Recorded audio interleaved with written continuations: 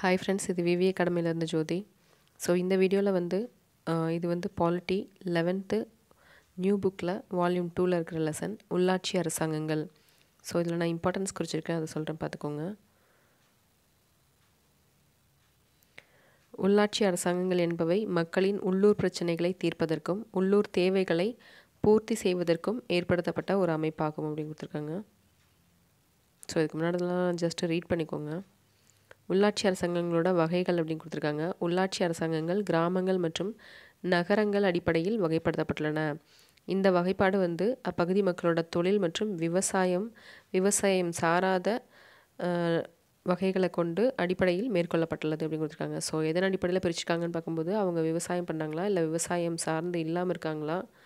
அப்படிங்கிறத வச்சும் அதை வந்து கிராமங்கள் மற்றும் நகரங்கள் அடிப்படையில் உள்ளாட்சி அரசாங்கங்களை பிரிச்சுருக்காங்கன்னு சொல்கிறாங்க விவசாயம் சார்ந்த தொழிலை அடிப்படையாக கொண்ட பகுதி என்பது அப்பகுதியின் பெரும்பான்மை மக்களோ அல்லது அனைத்து மக்களுமோ விவசாயம் மற்றும் விவசாயம் சார்ந்த தொழில்களான கால்நடை வளர்ப்பு பால் பண்ணை போன்ற தொழில்களை செய்வர். ஆனால் நகர பகுதிகளில் வந்து மக்கள் வந்து வர்த்தகம் மற்றும் அது சார்ந்த தொழில்களில் ஈடுபடுவார்கள் கொடுத்துருக்காங்க நகர பகுதிகள் என்பவை வெளி உலகத்திற்கும் கிராம பகுதிகளுக்கும் இடையே ஒரு பாலமாக செயல்படுகின்றன. ஸோ எது வந்து பாலமாக செயல்படுன்னு பார்க்கும்போது நகரப் பகுதிகள் வெளி உலகத்திற்கும் கிராம பகுதிக்கும் இடையே. அரசாங்கங்கள் வந்து ஊரக உள்ளாட்சி அரசாங்கங்கள் என்றும் நகர பகுதிகளில் உருவாக்கப்படும் அரசாங்கங்கள் வந்து நகர்ப்புற உள்ளாட்சி அரசாங்கங்கள் என்றும் அழைக்கப்படுகின்றன. ஸோ இது ரெண்டுமே முக்கியம் பார்த்துக்கோங்க. அடுத்ததாக உள்ளாட்சி அரசாங்கங்கள் வந்து கிராமப்புறம் நகரம்னு ஒரு ஃப்ளோ சார்ட் கொடுத்துருக்காங்க. இந்தியாவில் கிராம உள்ளாட்சி அரசாங்கங்கள் பஞ்சாயத்து ராஜ் என்ற பொது பெயரில் அழைக்கப்படுகின்றன.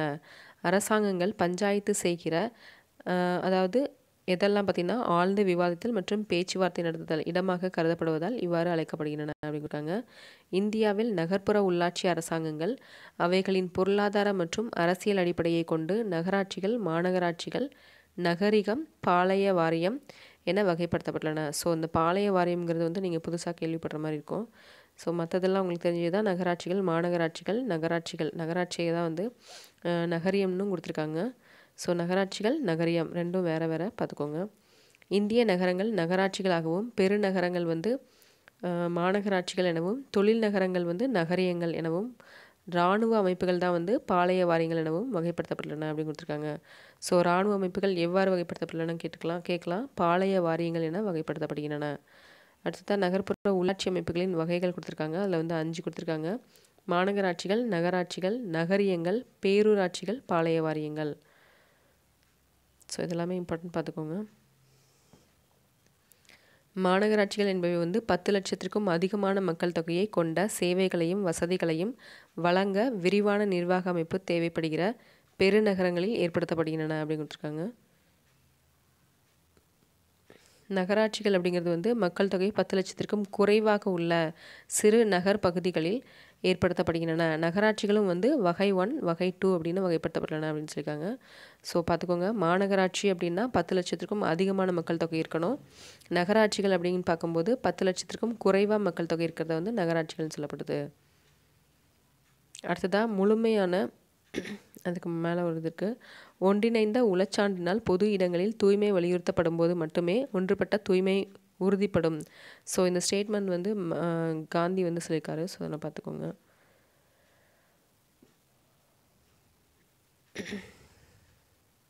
முழுமையான சுகாதாரத்தை நோக்கி அப்படின்னு கொடுத்துருக்காங்க. ஒன்றிணைந்த குறைந்த செலவினத்திலான சுகாதார திட்டத்தின் திருத்தப்பட்ட வழிகாட்டுதல்கள் மூலம் மனித கழிவுகளை மனிதர்களே அகற்றும் முறையை வந்து ரெண்டாயிரத்தி பத்தாம் ஆண்டுக்குள் நீக்கும் நோக்கத்தில் உலர் கழிவறைகளை அமைக்க மானியங்களை உயர்த்தி வழங்குதல் அப்படின்னு கொடுத்துருக்காங்க.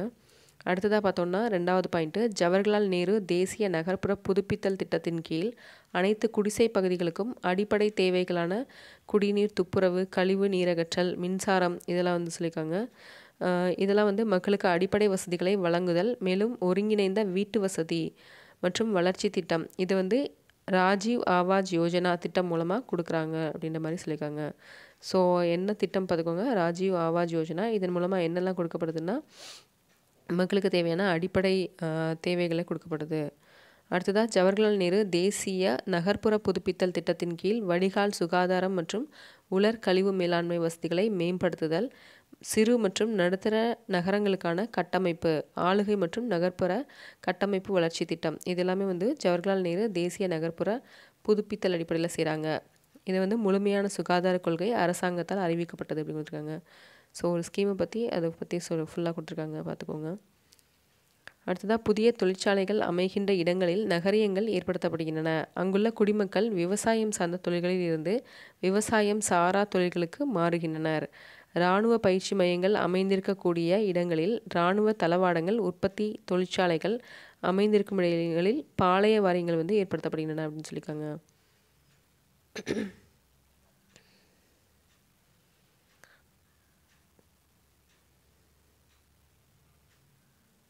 ஸோ அடுத்ததாக இந்தியாவில் உள்ளாட்சி அரசாங்கங்களின் தோற்றம் மற்றும் வளர்ச்சி அப்படின்னு கொடுத்துருக்காங்க. இந்தியாவில் உள்ளாட்சி அரசாங்கங்களின் தோற்றத்தை பற்றி ஆராய்ந்தால் அவை கிறிஸ்து பிறப்பதற்கு முன்பே இருந்ததை அறியலாம். அதே இது கிமு அறுநூறு முதல் கிபி அறுநூறு வரை உலகில் பல குடியரசுகள் தோன்றுவதும் மறைவதுமாக இருந்தன அப்படின்னு கொடுத்துருக்காங்க. ஸோ கிறிஸ்து பிறக்கிறதுக்கு முன்பே வந்து இந்தியாவில் உள்ளாட்சி அரசாங்கங்கள் தோற்றம் இருந்தது அப்படிங்கிறத மட்டும் ஞாபகம் வச்சுக்கோங்க. புத்தர் மற்றும் மகாவீரர் ஏற்படுத்திய மத அமைப்புகளில் மக்களாட்சி நடைமுறையில் முடிவுகள் எடுக்கப்பட்டன. கௌடில்யரோட அர்த்தசாஸ்திரம் நூல் இருக்கு இல்லையா? அப்போதைய கிராம நிர்வாகம் பற்றி அதில் விளக்கப்பட்டிருக்குது. அடுத்ததாக மௌரியர்களின் ஆட்சி காலத்தில் வந்து கிராமமும் மாவட்டமும் மாவட்டமுமே நிர்வாக அலகுகளாக இருந்தன அப்படிங்கிட்டு சொல்லியிருக்காங்க. ஸோ மௌரியரோட காலத்தில் வந்து கிராமமும் மாவட்டமுமே வந்து நிர்வாக அலகுகள். அதை பார்த்துக்கோங்க அடுத்தது தென்னிந்திய தீபகற்பத்தில் கிறிஸ்துவின் காலத்திற்கு முன்பே உள்ளாட்சி அரசாங்கங்கள் செயல்பட்டு வந்துள்ளனன்னு சொல்லியிருக்காங்க.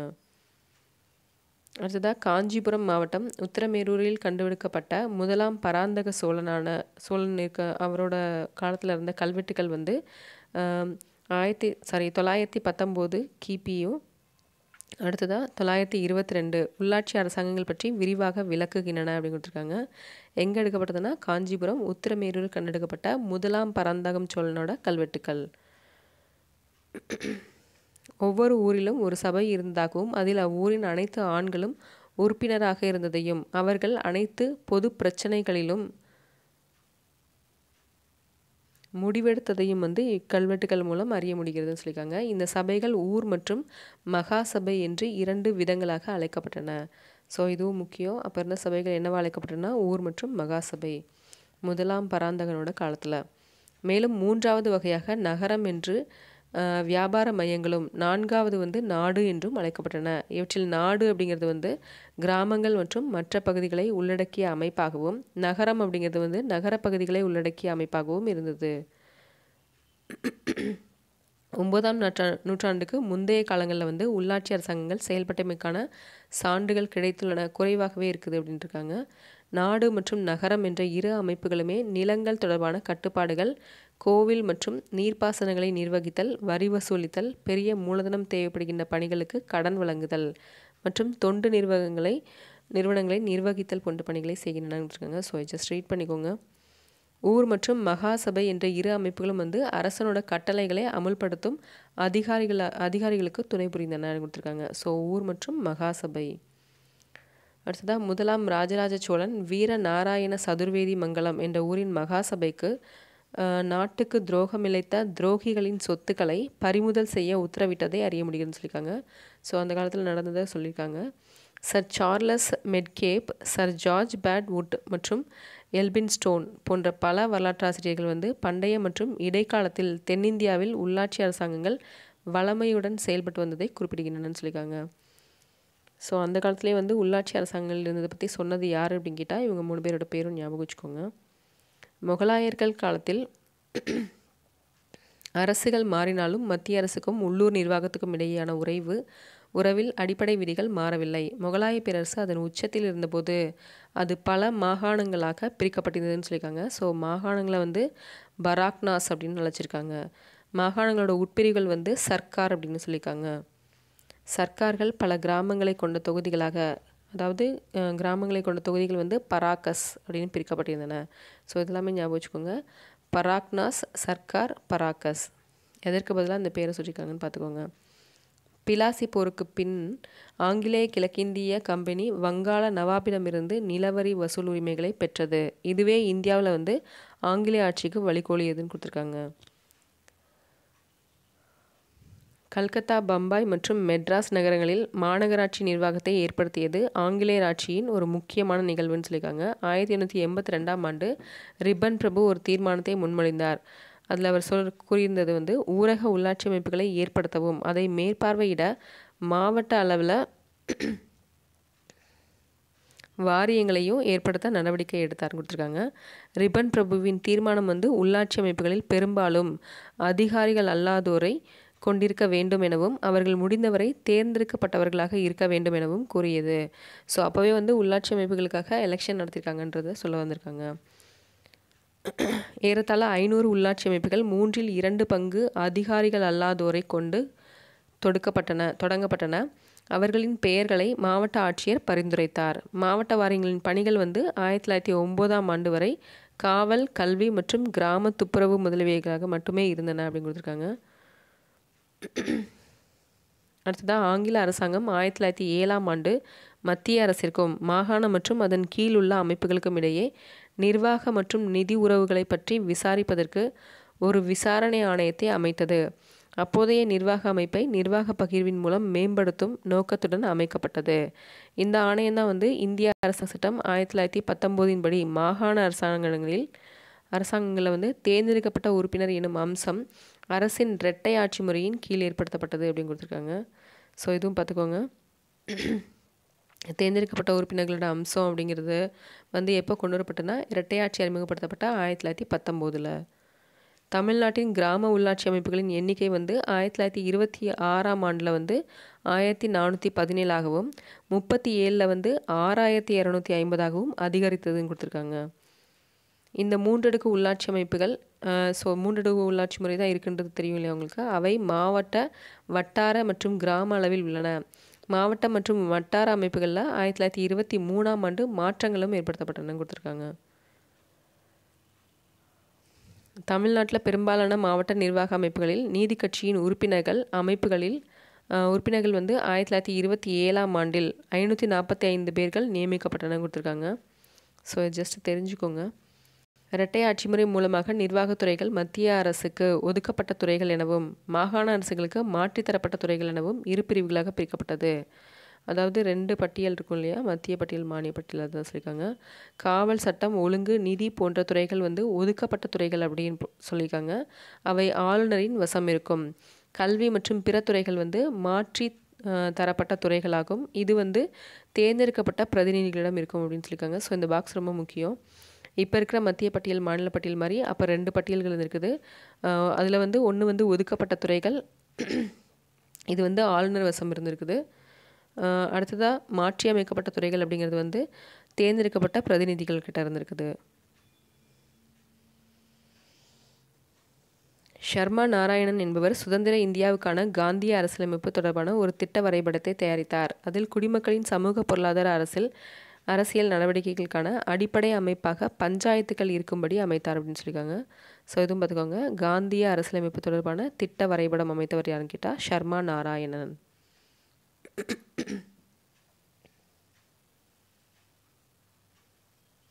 அடுத்ததான் இதனால் நவம்பர் இருபத்தி ஆறு ஆயிரத்தி தொள்ளாயிரத்தி நாற்பத்தி ஒம்போதாம் நாள் இந்திய அரசால் ஏற்றுக்கொள்ளப்பட்ட இந்திய அரசமைப்பின் பகுதி நான்கில் அமைந்துள்ள அரசின் வழிகாட்டு நெறிமுறைகளில் விதி நாற்பது ஏற்படுத்தப்பட்டது அப்படின்னு சொல்லியிருக்காங்க. ஸோ டிபிஎஸ்பி இருக்கு இல்லையா? அதில் வந்து விதி நாற்பதை வந்து ஏற்படுத்தியிருக்காங்க. எதுக்காகனா கிராம பஞ்சாயத்துகளுக்காக. அரசு கிராம பஞ்சாயத்துகளை ஏற்படுத்த நடவடிக்கை எடுக்க வேண்டும். அவைகள் சுய ஆட்சியின் அழகுகளாக பணிபுரிய தேவையான அதிகாரங்களையும் திறனையும் வழங்க வேண்டும். என அரசியலமைப்பு பிரிவு நாற்பது கூறுகிறது அப்படின்னு கொடுத்துருக்காங்க. அரசின் வழிகாட்டு நெறிமுறைகளின் விதிகளின்படி செயல்படுவதற்காக ஆயிரத்தி தொள்ளாயிரத்தி ஐம்பத்தி ரெண்டாம் ஆண்டு பேரார்வத்துடன் சமூக மேம்பாட்டு திட்டம் தொடங்கப்பட்டதுன்னு சொல்லியிருக்காங்க. ஸோ சமூக மேம்பாட்டு திட்டம் தொடங்கப்பட்டது வந்து ஆயிரத்தி தொள்ளாயிரத்தி ஐம்பத்தி ரெண்டு. இந்த திட்டம் வந்து தேசிய விரிவாக்க பணியாக பல்வேறு ஊரக பகுதிகளுக்கு விரிவாக்கம் செய்யப்பட்டது. அறிவியல் மற்றும் தொழில்நுட்ப அறிவை விவசாயம் கால்நடை வளர்ப்பு மற்றும் ஊரக கைவினை தொழில்களில் புகுத்துவது இதன் நோக்கமாக இருந்தது அப்படின்னு சொல்லியிருக்காங்க. இரண்டாவது ஐந்தாண்டு திட்ட காலமான ஆயிரத்தி தொள்ளாயிரத்தி ஐம்பத்தி ஆறிலிருந்து அறுபத்தி ஒன்று வந்து கிராம பஞ்சாயத்துக்கள் அமைப்பு ரீதியாக உயர்நிலைகளில் உள்ள மக்கள் நிர்வாக அமைப்புகளுடன் இணைக்கப்பட வேண்டும் அப்படின்னு பரிந்துரைக்கப்பட்டது. ஸோ ரெண்டாவது ஐந்தாண்டு திட்ட காலத்தில் என்ன கொண்டு வரப்பட்டதுன்னா கிராம பஞ்சாயத்துகள் அமைப்பு ரீதியாக உயர்நிலைகளில் உள்ள மக்கள் நிர்வாக அமைப்புகளுடன் இணைக்கப்பட வேண்டும். இதுதான் வந்து கொண்டு வரப்பட்டது. ஆயிரத்தி தொள்ளாயிரத்தி ஐம்பத்தி ஏழில் வந்து திட்ட வடிவமைப்பு குழு ஒன்றை பல்வந்த்ராய் மேத்தா தலைமையில் மத்திய அரசாங்கம் அமைத்ததுன்னு கொடுத்துருக்காங்க. மேத்தா குழு முக்கியமான இரண்டு பரிந்துரைகளை கொடுத்தது. ஸோ ஆயிரத்தி தொள்ளாயிரத்தி ஐம்பத்தி ஏழில் மேத்தா குழு எதுக்காக கொண்டு வரப்பட்டது அப்படின்னா திட்ட வடிவமைப்பு குழு அப்படின்னு கொண்டு வரப்பட்டது. அந்த ரெண்டு பரிந்துரைகள் என்னென்னு பார்க்கலாம். நிர்வாகம் வந்து பரவலாக்கப்பட வேண்டும் மற்றும் நிர்வாகம் உள்ளாட்சி அமைப்புகளின் கட்டுப்பாட்டில் இருக்க வேண்டும். இதுதான் அவங்க கொடுத்த ரெண்டு இது. முதல் இது. ரெண்டாவதாக வந்து ஊரக வளர்ச்சி வட்டங்கள் மக்களாட்சி நிர்வாக அலகுகளாக மாற்றப்பட வேண்டும். அங்கு தேர்ந்தெடுக்கப்பட்ட பிரதிநிதிகளை கொண்ட ஊராட்சி ஒன்றியம் மூலம் அப்பகுதியில் மேம்பாடு திட்டங்களை செயல்படுத்த வேண்டும். ஸோ இதுதான் வந்து அவங்க அவங்க கொடுத்த ரெண்டு பரிந்துரைகள். ஸோ இது ரெண்டையுமே பார்த்துக்கோங்க. ஸ்டேட்மெண்ட்ஸில் கேட்கலாம். மேலும் மாவட்ட அளவில் ஊராட்சி ஒன்றிய தலைவர்கள் சட்டமன்ற உறுப்பினர்கள் நாடாளுமன்ற உறுப்பினர்கள் மாவட்ட அளவிலான சுகாதாரம் விவசாயம் கால்நடை கல்வி அலுவலர்கள் மாவட்ட ஆட்சியரை உறுப்பினர்களாக கொண்ட மாவட்ட மேம்பாட்டு குழு ஏற்படுத்தப்பட வேண்டும் என்றும் இக்குழு பரிந்துரைத்து கொடுத்துருக்காங்க. ஸோ இது ஜஸ்ட் பார்த்துக்கோங்க. என்ன குழு ஏற்படுத்தப்பட்டது எதற்காக ஏற்படுத்தப்பட்டது அதோட ஆண்டு என்ன அதோட பரிந்துரைகள் என்ன இதை மட்டும் பார்த்துக்கோங்க இதில். ஏறத்தாழ தொண்ணூறு சதவீத இந்திய மக்கள் வந்து ஆயிரத்தி தொள்ளாயிரத்தி அறுபது வாக்கில் பஞ்சாயத்து ராஜ் அமைப்புக்குள் கொண்டு வரப்பட்டனன்னு கொடுத்துருக்காங்க. அடுத்ததாக பஞ்சாயத்து அமைப்புகளின் செயல்பாடுகளை பற்றி ஆராயவும் அதனை செம்மைப்படுத்தவும் இந்திய அரசாங்கம் ஆயிரத்தி தொள்ளாயிரத்தி எழுபத்தி ஏழில் வந்து அசோக் மேத்தா தலைமையில் ஒரு குழுவை அமைத்தது கொடுத்துருக்காங்க. ஸோ அப்போ அசோக் மேத்தா தலைமையிலான ஒரு குழு அமைக்கப்பட்டது எது எப்போன்னா ஆயிரத்தி தொள்ளாயிரத்தி எழுபத்தி ஏழில். எதற்காகன்னு பார்க்கும்போது பஞ்சாயத்து அமைப்புகளோட செயல்பாடுகளை ஆராயவும் அதனை செம்மைப்படுத்தவும்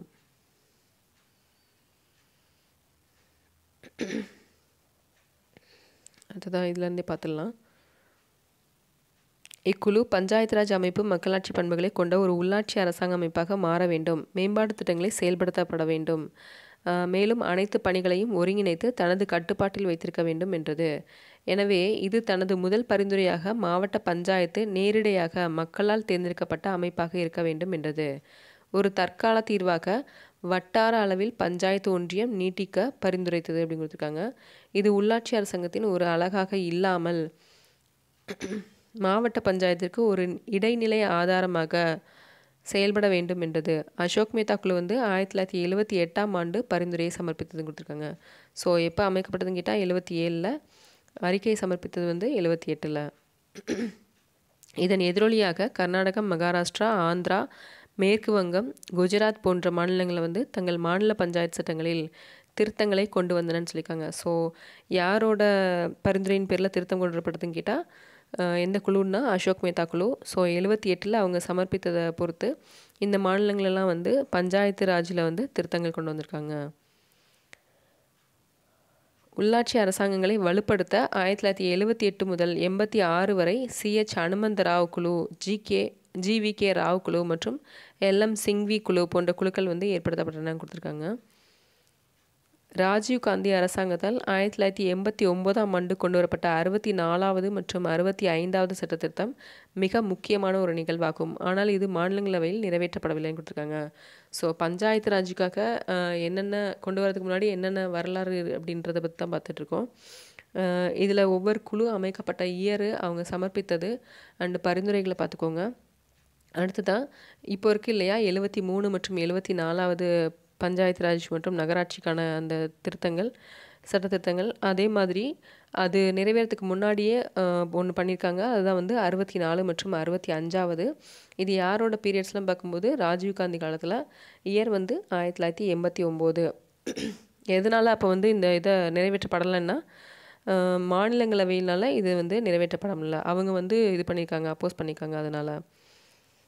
அடுத்ததாக ஆயிரத்தி தொள்ளாயிரத்தி தொண்ணூற்றி ரெண்டாம் ஆண்டு முந்தைய பல முயற்சிகளின் சிறப்பம்சங்களையும் உள்ளடக்கி அரசாங்கம் வந்து எழுபத்தி மூணாவது மற்றும் எழுபத்தி நாலாவது சட்டத்திருத்த மசோதாவை ஆயிரத்தி தொள்ளாயிரத்தி தொண்ணூற்றி ரெண்டில் நாடாளுமன்றத்தில் அறிமுகப்படுத்தி இறுதியில் அது வந்து ஆயிரத்தி தொள்ளாயிரத்தி தொண்ணூற்றி மூணாம் ஆண்டு இரு அவைகளிலும் நிறைவேறியதுன்னு கொடுத்துருக்காங்க. ஸோ அதுதான் இப்போ இருக்கிறது.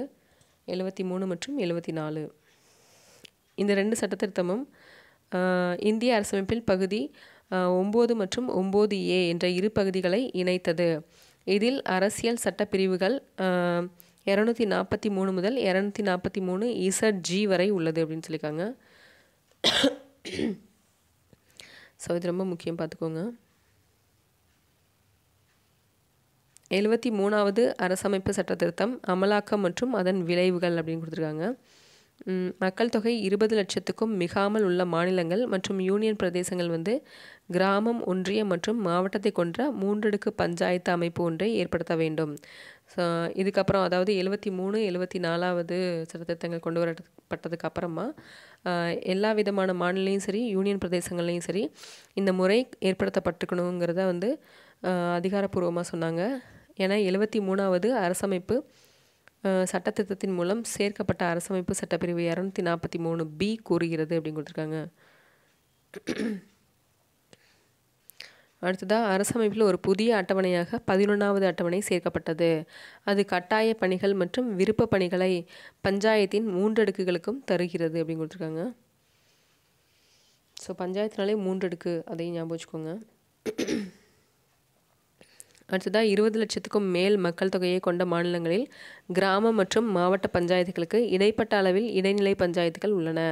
ஒரு பஞ்சாயத்தில் உள்ள அனைத்து இடங்களும் தொகுதி மக்களின் நேரடியான தேர்தல் மூலம் நிரப்பப்பட வேண்டும். ஒரு கிராம பஞ்சாயத்தின் வாக்காளர்களை கொண்ட அமைப்பு கிராம சபை என்று அழைக்கப்படுகிறது. ஒரு கிராம பஞ்சாயத்தின் வாக்காளர் பட்டியலில் உள்ள அனைவரும் கிராம சபை உறுப்பினர்கள் ஆவர். ஸோ இது வந்து தெரிஞ்சுக்கோங்க. அடுத்ததாக பொன்விழா ஆண்டு கொடுத்துருக்காங்க.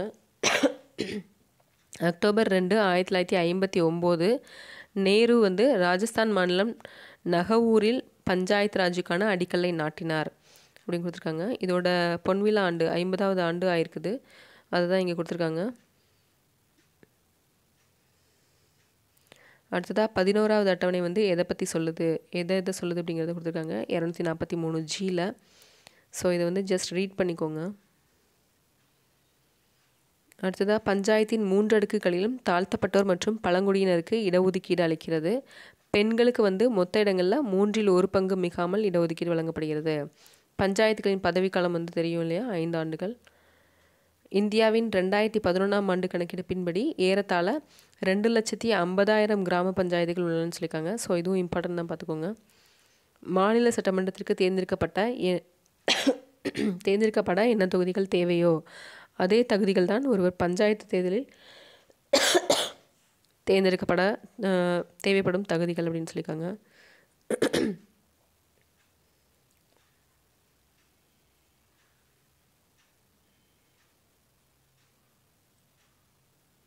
ஸோ பஞ்சாயத்து ராஜ் பொன்விழா ஆண்டு பற்றி கொடுத்துருக்காங்க. அக்டோபர் ரெண்டு ஆயிரத்தி தொள்ளாயிரத்தி ஐம்பத்தி ஒம்போது நேரு அவர்கள் ராஜஸ்தான் மாநிலம் நகவூரில் பஞ்சாயத்து ராஜுக்கு அடிக்கல் நாட்டினார். ஊரக இந்தியாவை ஆள்வதில் இது ஒரு புரட்சிகரமான படியாகும்.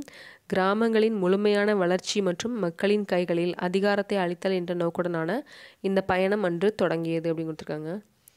ஸோ ஜஸ்ட் தெரிஞ்சுக்கோங்க.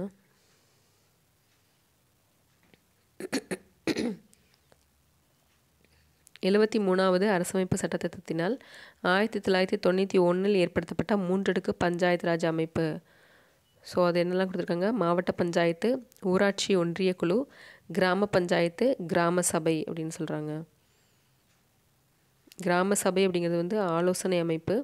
இந்த மூணுக்கும் வந்து எலெக்ஷன்ஸ் நடக்கும். ஃபஸ்ட்டு இதுக்கு வந்து தேர்ந்தெடுக்கப்பட்டோர் மற்றும் நியமிக்கப்பட்டோர். அடுத்ததாக வந்து தேர்ந்தெடுக்கப்பட்டோர் தேர்ந்தெடுக்கப்பட்டோர். தேர்ந்தெடுக்கப்பட்டோர் அப்படிங்கிறது வந்து டைரக்ட் எலெக்ஷன்ஸ் இருக்கும்.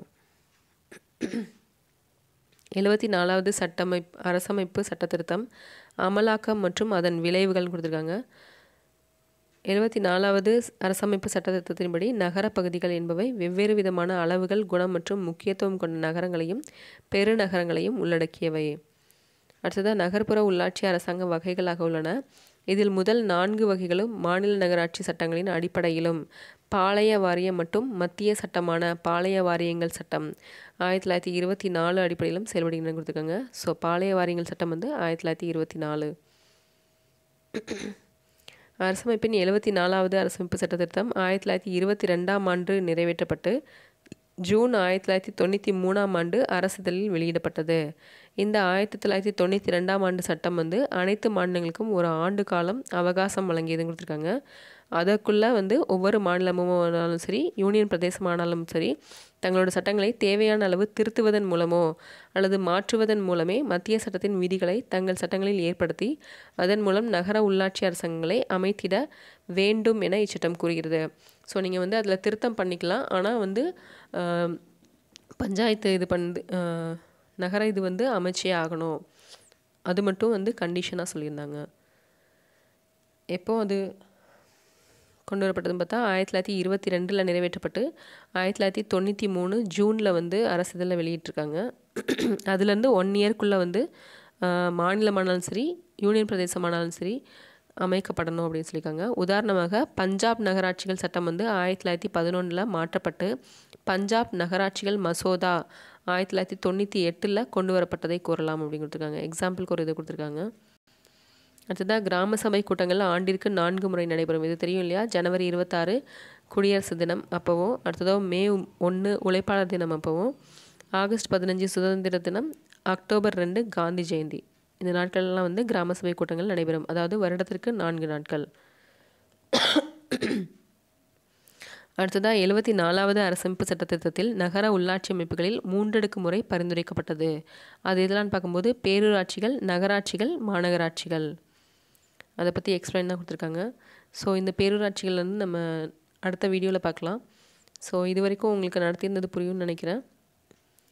ஸோ இதோட வீ இது பிடிஎஃப் வந்து நான் உங்களுக்கு ஆல்ரெடி அப்லோட் பண்ணிட்டேன் டெலகிராமில் அந்த சேனலில் போய் டவுன்லோட் பண்ணி பார்த்துக்கோங்க. Thank you friends